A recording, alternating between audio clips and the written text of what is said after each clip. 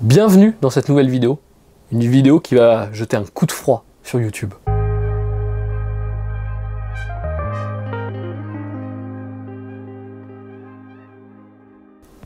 Oh, oh, oh, oh, les belles promesses.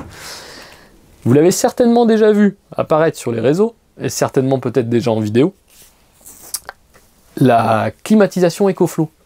Et eh bien nous, on était vraiment intéressés pour euh, connaître le fonctionnement de cette climatisation, parce que sur le papier, elle répondait à des besoins qu'on avait en tant que camping-cariste, et qu'en plus de ça, eh ben, nous, la climatisation, on connaît très bien.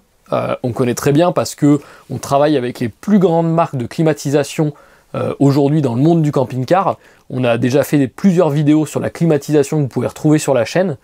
Euh, donc c'est des produits qu'on connaît bien, la puissance des climatisations, etc. C'est des éléments qu'on connaît par cœur. Donc ce système-là nous intéressait, savoir comment ça fonctionne. Est-ce que c'est une vraie clim? Est-ce que c'est un rafraîchisseur? Est-ce qu'on gagne vraiment une température? Donc ce qu'on a fait, c'est qu'on a mis en test cette climatisation-là dans nos propres véhicules, plusieurs jours. On a attendu les journées où il faisait bien chaud. On a mis en route euh, et on va vous donner, euh, au fur et à mesure de cette vidéo, toutes les informations qu'on a pu euh, récupérer sur cette climatisation. Donc la climatisation, c'est l'EcoFlow Wave 2. Donc l'EcoFlow F2, nous on l'a dans la configuration climatisation et batterie. Donc là, on est sur une climatisation autonome. Pourquoi on peut l'appeler climatisation? Bah ouais, tiens, c'est une bonne question ça, Jamy. Dis donc, pourquoi on peut l'appeler climatisation? Pourquoi c'est pas juste un rafraîchisseur? C'est normalement les petits blocs comme ça, c'est juste des rafraîchisseurs. Qu'est-ce qui me parle de climatisation, ce monsieur-là? En fait, à l'intérieur, on a un vrai compresseur. Donc, on parle vraiment de climatisation, c'est-à-dire qu'on va compresser un gaz euh, pour créer du froid. Donc là, on n'est pas seulement à j'envoie de l'air avec de l'humidité, on est vraiment sur euh, je fais baisser la température. Quelle caractéristique est intéressante sur le sur l'EcoFlow Wave? En fait, ce qui va être intéressant, c'est que c'est une climatisation mobile. Donc, euh, contrairement à ce qu'on retrouve en camping-car habituellement, qui sont des climatisations euh, soit qui sont posées sur les lanterneaux, soit qui sont dans les soutes, c'est que là, on va pouvoir la bouger l'emmener d'un véhicule à un autre, l'emmener d'un camping-car à un autre, l'emmener d'un fourgon à un camping-car, dans une voiture, enfin on va pouvoir l'utiliser un peu partout. Autre élément important et intéressant, c'est que cette climatisation est autonome. Alors quand je dis autonome, c'est qu'elle n'a pas besoin d'être branchée sur une prise 220. Aujourd'hui, toutes les climatisations que l'on voit en camping-car ont besoin d'une alimentation 220. Alors de temps en temps, on triche, c'est-à-dire qu'on met une climatisation sur un convertisseur euh, mais on est aussi sur une, euh, sur une batterie lithium. Donc là, en fait, ce qu'a réussi à faire EcoFlow, c'est que sa petite climatisation, ils l'ont mis sur une de leurs batteries. Aujourd'hui, on, est quand même sur un leader de la batterie nomade. Donc, euh, ma climatisation devient autonome. Je n'ai pas besoin de me brancher. Alors vous allez me dire, mais à quoi sert ma prise quand même? Bah Il y a une prise, il me dit qu'il n'y a pas besoin de se brancher, mais il y a une prise. Bah, en fait, la prise, elle va me servir à recharger ma batterie, tout simplement. Ma batterie, donc additionnelle, elle est sur le bas de la climatisation. C'est le petit bloc qu'on voit euh, juste ici. Elle va être capable d'être chargée au 220, mais aussi au 12 volts ou via mon panneau solaire. La seule différence sur ces trois cycles de charge, c'est la vitesse de recharge. La meilleure recharge, ça sera sur la prise 220. Sur le 12 volts et sur le panneau solaire, on sera plus limité. Pour ceux qui se posent la question et qui ont déjà un panneau solaire, EcoFlow, on va pouvoir directement le connecter sur la climatisation donc, et recharger en fait la batterie de la climatisation. Donc la configuration avec la batterie, mais configuration sans la batterie possible. Donc là, je vais pouvoir débrancher ma batterie, donc la déconnecter, hop, sur le côté, voilà. Donc ça c'est mon connecteur, et je vais pouvoir enlever ma batterie. Donc je désolide, ouais j'enlève ma batterie quoi. Donc j'appuie sur le bouton, je fais coulisser. Et là, je vais pouvoir avoir ma climatisation euh, seule, sans ma batterie. Et donc là, si jamais je veux faire fonctionner ma climatisation, je peux. Mais là, pour le coup, je suis plus autonome. Il faut absolument que je me branche avec ma prise. Mais nous, ce qui nous intéresse, bah, c'est de la faire fonctionner en autonomie. Parce qu'aujourd'hui, c'est le plus gros problème des climatisations, c'est de pouvoir la faire fonctionner pour les gens qui veulent la faire fonctionner sans euh, Z branché au 220.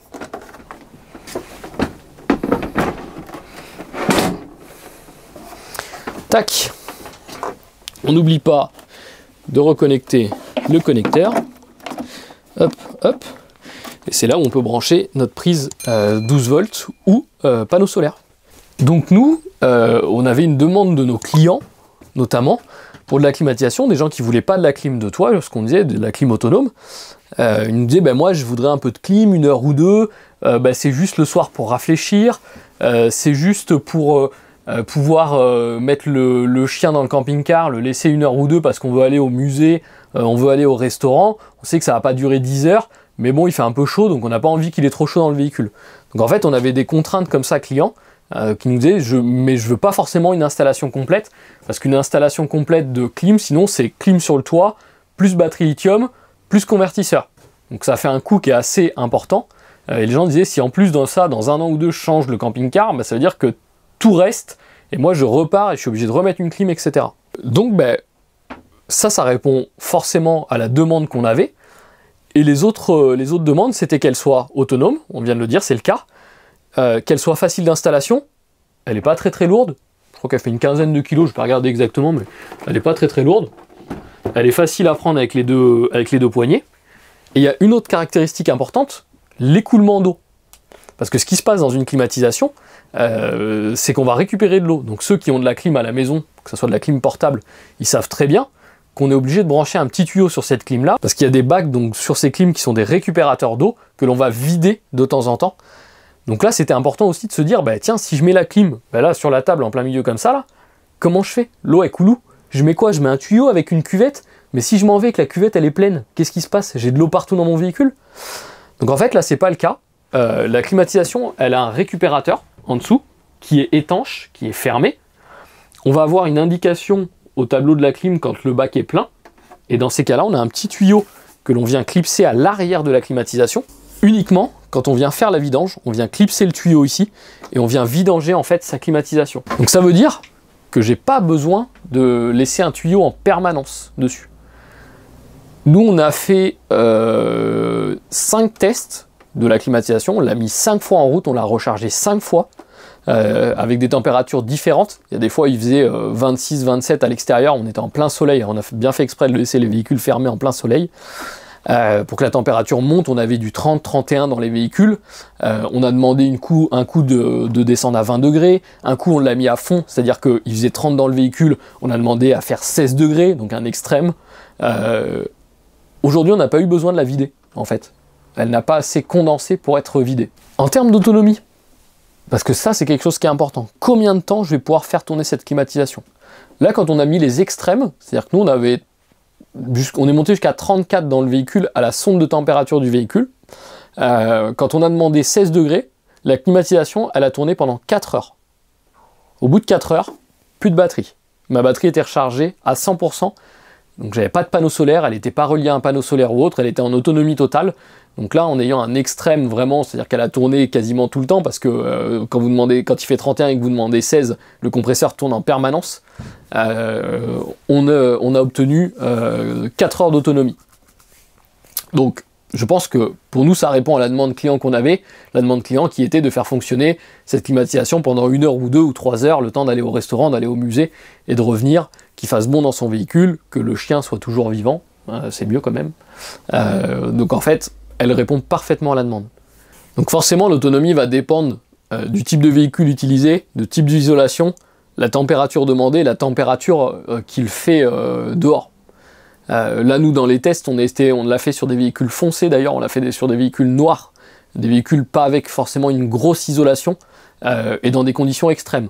Effectivement, si on lui demande moins de delta de température, imaginons au lieu de mettre 16 degrés, je lui avais demandé 25 degrés, par exemple, et que j'avais 35 dans le véhicule, j'aurais eu certainement une autonomie plus longue, 5, 6, 7 heures, 8 heures. En tout cas, nous, c'est pas les tests que nous, on a réalisés. Euh, on l'a poussé à son maximum, et effectivement, quand on est dans, son maximum de la capacité du compresseur, on arrive à 4 heures d'autonomie. Maintenant, ce qu'on va faire, c'est qu'on va la mettre en place, parce que euh, bah, voir comment elle se met en place, qu'est-ce qu'il faut faire, est-ce qu'il y a des choses particulières à faire. Il existe plusieurs, euh, vous avez plusieurs sorties possibles. Donc ici, il y a un bloc qui existe. Nous, qui en camping-car, ne va pas nous intéresser. C'est surtout pour le monter sur des tentes. Il existe. On peut mettre la clim à l'extérieur et refroidir sa tente. Voilà, nous, c'est pas le but recherché. Donc on va le laisser comme ça.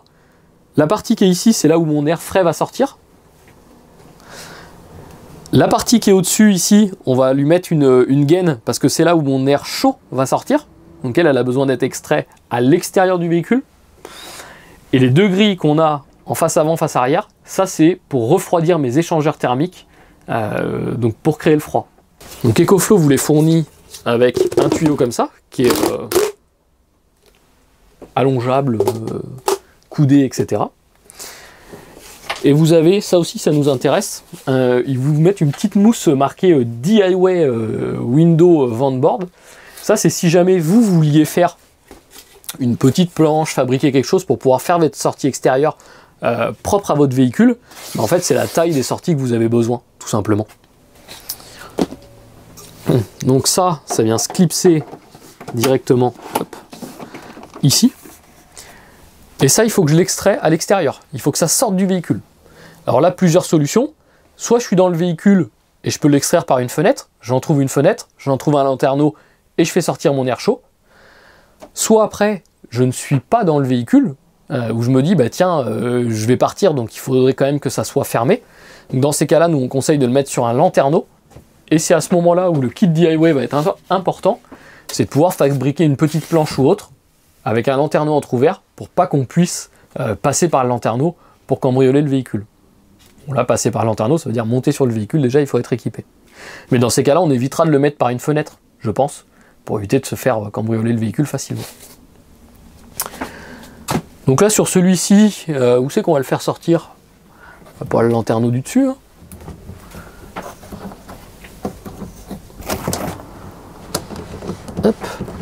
Donc idéalement, on essaye d'extraire vers le haut, la chaleur montant. Euh, c'est mieux en fait d'avoir le tuyau qui va être branché comme ça, plutôt que d'essayer de le refaire redescendre comme ça pour sortir plus bas. C'est juste une question de performance. Si je fais ça, je vais perdre de la performance. Donc là, hop, ce que je vais faire, c'est que je vais la reculer au bout de ma table. Hop.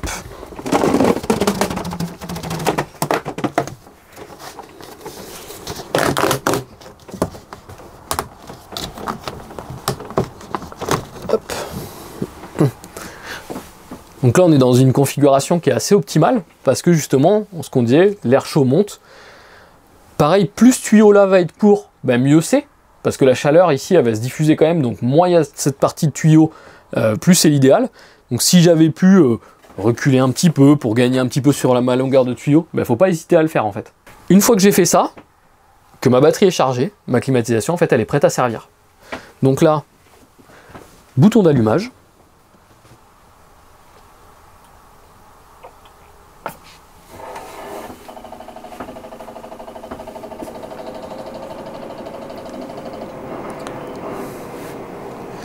là, c'est parti.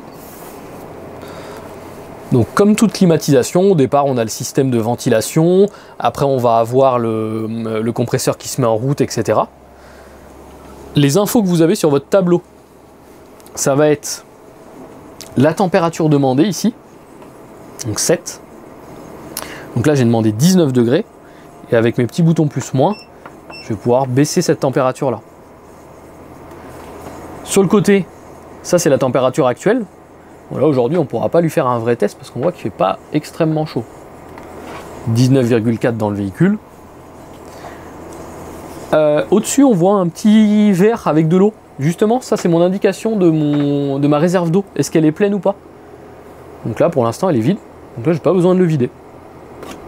Si c'était plein, ben à moi de raccorder mon petit tuyau à l'arrière, comme on a vu tout à l'heure, pour la vidange. Et de l'autre côté, donc j'ai deux choses. J'ai mon ventilateur que je peux accélérer ou pas. On voit là, premier niveau. Et en appuyant sur le bouton, je peux mettre le deuxième niveau ou le troisième niveau. Ce qui augmente ma puissance de ventilateur. Bah. Donc là, je me remets au premier niveau. Et ici, ça, c'est mon autonomie. Donc là, ma batterie, si je reste comme ça, dans la configuration que j'ai demandé, elle va tenir 6,4 heures. En fonctionnement, c'est aussi, euh, aussi simple que ça. Là, on voit donc ici, j'ai pas de chaleur hein, qui est émise. Hein. c'est vraiment l'air qui rentre dans mon, qui traverse mes, échangeurs thermiques. Ici j'ai de la ventilation, et là je peux avoir de l'air chaud qui sort. C'est pas mal. À savoir que par exemple, nous on a fait un, petit test, euh, on voulait euh, la tester dans un van, sachant que les vannes on n'a pas de fenêtre, on n'a pas de lanterneau plutôt, et les fenêtres sont des fenêtres coulissantes. Donc en fait, comment faire pour refroidir un van alors qu'on ne peut pas mettre ce tuyau là, ou en tout cas si je le mets, je suis obligé d'être dans le véhicule et bien en fait on a utilisé les grilles qui existent, donc les grilles qui permettent de laisser les fenêtres, de l'aération de fenêtres. Donc c'est des grilles qu'on vient positionner juste au-dessus de la fenêtre, qui nous permet de remonter la fenêtre, de laisser de l'aération. Et en fait, tout simplement, le bout de la bouche, on l'avait collé sur la grille. Donc en fait, mon air était extrait à travers ma grille. Personne ne peut rentrer dans mon véhicule, parce qu'il y a ma grille qui est fermée. Et dans ces cas-là, je peux refroidir un van. Et on pourrait faire la même chose avec des fourgons. Je pense aux fourgons qui ont des toits relevables, où justement il y a très peu de lanterneaux sur ce genre de véhicule-là. On peut utiliser ces grilles. Donc pour moi, la configuration du produit, franchement, elle est top.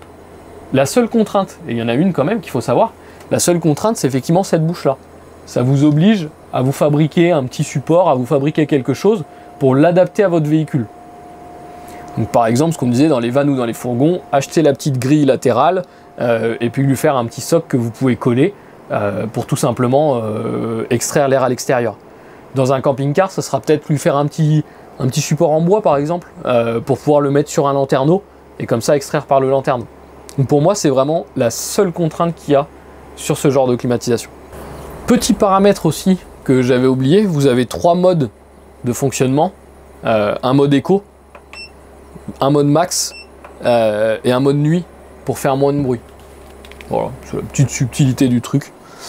chose importante, c'est les puissances ça me fait rappeler que euh, il y a quelque chose que je vous ai pas dit, c'est que là on parlait de clim, parce que pour moi c'est la chose la plus importante, mais elle fait aussi du chauffage. Donc on peut l'utiliser en, chauffage, vu qu'on est sur un vrai compresseur, ce qu'on disait, on n'est pas sur un rafraîchisseur mais bien une climatisation, vu qu'on est sur un compresseur, et eh bien en fait c'est réversible, on peut faire du chaud et du froid. La puissance de la climatisation, elle fait 1500 watts. Pour vous donner un peu une idée par rapport à, de la clim de maison, des fois que vous connaissez bien, les petites clims portables, ou de la clim de, toit de camping-car. Euh, une clim de toit de camping-car, ça fait souvent entre 2000 euh, et 2500 watts en puissance de froid.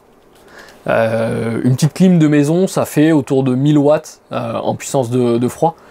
Voilà, là on a un produit qui est entre les deux. En termes de, de fonctionnement, pour ceux qui se posent la question, entre les petits véhicules, les grands véhicules ou autres, clairement 1500 watts, si je veux refroidir entièrement mon camping-car l'été quand il fait très très chaud, il fait 45 et que vous demandez 20 degrés dedans sur un véhicule qui fait 7 mètres 50, je vais vous dire tout de suite, c'est pas possible en fait. Euh, la puissance ne sera, pas, ne sera pas assez importante. Mais si jamais je cloisonne mon véhicule, si j'ai une chambre à l'arrière et que je dis je veux qu'il fasse bon dans la chambre, rien ne m'empêche de fermer ma porte pour diminuer mon espace et dans ces cas-là, ça va être possible. Pareil dans la partie salon. Là, on a un véhicule qui a une porte derrière, on a fermé la porte, du coup, on réduit la surface. Donc là, c'est possible. Je me suis trompé. Je me suis trompé de mes notes. Euh, j'ai inversé. C'est 1800 watts de froid et 1500 de chaud. Rectification. On le compresseur euh, démarrer. Donc produit nouveau, disponible en magasin, disponible aussi sur le site internet. Euh, je connais pas les stocks par cœur de chez EcoFlow, mais à mon avis, euh, tardez pas trop, parce qu'on est avant l'été. Je pense que s'il y a des chaleurs et que les gens ont besoin de climatisation, ils vont se tourner vers ce produit parce qu'il répond quand même à pas mal de demandes. Donc à mon avis, franchement, tardez pas trop. Pour ceux qui se posent la question, qui ont déjà une EcoFlow, une Delta ou autre, et qui voudraient pas partir sur la clim toute seule et pas la clim avec la batterie, c'est possible. Donc du coup, vous prenez pas le pack batterie et vous branchez votre Delta directement sur la prise, ici. Alors attention, aujourd'hui nous on vous annonce des autonomies qu'on a testées euh, par nos soins ici à la concession avec la batterie qui est fournie avec la Wave 2. Si vous utilisez votre Delta, suivant la Delta que vous avez, Delta 1, Delta 2, Delta Max, Delta Pro, je ne connais pas l'autonomie, on n'a pas fait les tests. Mais techniquement ça fonctionne. Pour les tarifs, la climatisation sans la batterie, c'est 1199. La climatisation avec la batterie, c'est 1999. Donc moins de 2000 euros pour l'ensemble clim batterie. Attention, les tarifs à l'instant T. Euh, dans petite précision, parce que si jamais vous visionnez cette vidéo dans un an ou deux, les tarifs auront peut-être monté, baissé, je sais pas. Donc là, à l'instant T, voilà, 1199, 1999. On reste, euh, bah, au final, euh, si on compare, tiens, un petit comparatif intéressant par rapport à une clim de toit. une clim de toit, on est en tarification, on va dire, aller entre, entre 1005 et 2005 euh, on peut même monter plus cher sur les hauts de gamme, on va dire allez, 1005-3000 euros. On parle en prix posé d'une climatisation. Sauf que là, c'est que la climatisation. Donc on n'a pas le côté autonomie. Donc si on veut le côté autonomie, ce qu'on a dit, batterie lithium convertisseur. Donc là, batterie lithium convertisseur pour faire fonctionner une clim sur, euh, sur 4 heures. Euh, on a vite fait d'y rajouter 3000 euros. Donc ça veut dire qu'on se retrouve avec un produit à plus ou moins 5000 euros aujourd'hui pour faire fonctionner une clim en autonomie. Euh, sur le type de batterie, sur le type de clim, etc. Mais pour vous donner une fourchette. Donc clairement, ça reste un produit qui est euh, moins cher qu'une clim de toit posée. Après, tout dépend ce que vous voulez faire. Ceux qui aiment l'autonomie, qui veulent de l'autonomie, clairement, c'est une clim qui est bien adaptée. Euh, et notamment, ce qu'on disait pour tous les produits où on ne peut pas monter de clim. Je pense aux vannes, je pense aux fourgons, je pense aux fourgons à toit relevable parce qu'on n'a pas de lanterne haute disponible. Donc tous ces produits-là, ben, pensez à la clim euh, Wave 2 de chez EcoFlow. Et ben nous on se dit à bientôt dans une prochaine vidéo, peut-être un peu plus chaude ou un peu plus froide, on sait pas. Bonne utilisation, bon voyage, bye bye